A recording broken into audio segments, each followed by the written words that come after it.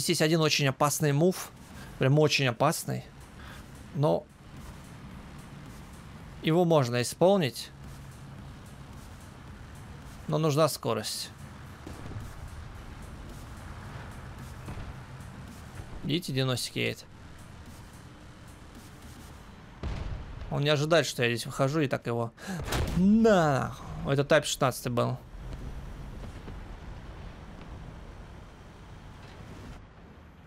Здесь танк есть.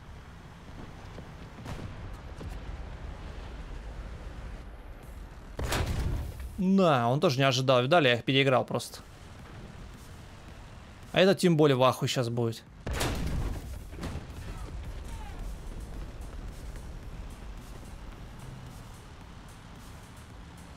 Теперь я засветим, немножко надо отойти назад, чтобы потеряться из-за вида. Ну, это очень хороший проезд, но он очень опасный. Тебе нужен очень быстрый танк. И зачастую у тебя здесь, ну, плюс-минус скиллы. Тебя типы вот эти, которые там стоят, они просто не ожидают, что там кто-то будет так быстро. Ты просто врываешься в них, и они такие, что? А все закончилось уже.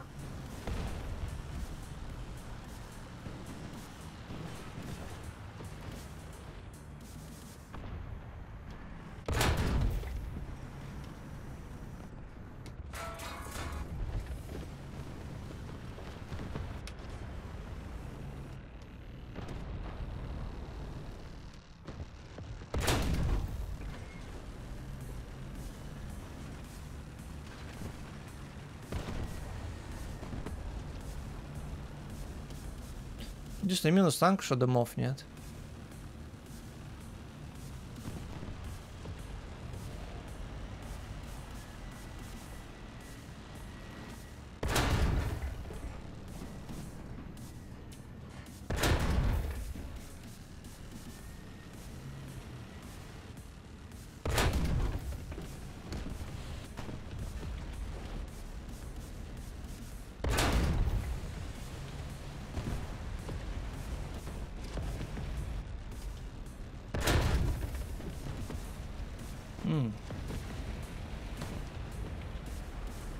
Что-то очень грязно, да? Согласитесь.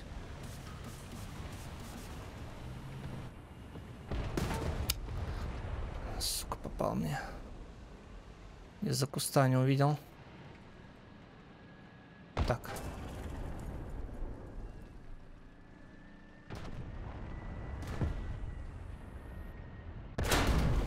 Ну, куда вот он едет? Просто сливаться, он же выиграл меня, по идее. Куда он едет сливаться? Хотя, может, его 90 шуганул. И от этого он полетел дальше.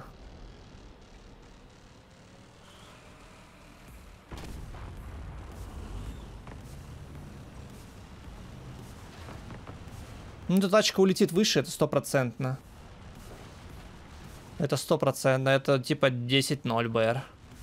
Минимум. Но по факту ничего не поменяется для нее. Она играет за счет того, что у нее быстрая перезарядка. И все.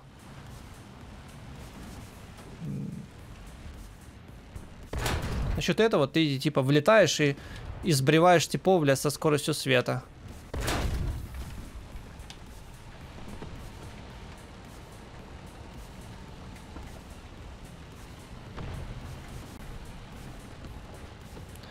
Но тут есть ограничения по снарядам. Тут вроде 9 или 10 снарядов. Если они у тебя заканчиваются, то ты не можешь стрелять. А если у тебя еще дебаф какой-то э, в виде, допустим, э, красного члена экипажа, то это забей Габелла.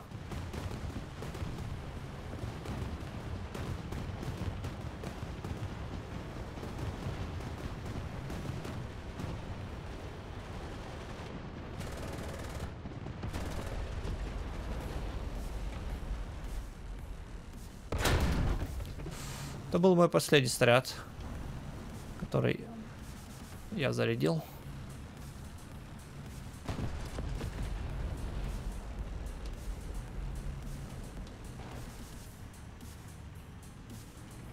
Все.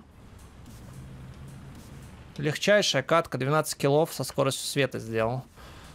немного с тайпом неудобно было из-за куста по нему стрелять, нам ни хрена непонятно. Я вообще думал, что это Турм сначала, а потом понял, что Турмс э, в моей теме, и он там рядом стоит.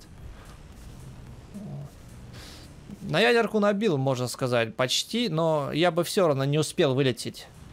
Ну, вылететь, может быть, и успел, но не долетел бы точно. Вот. Поэтому... Она как бы была и как бы нет одновременно.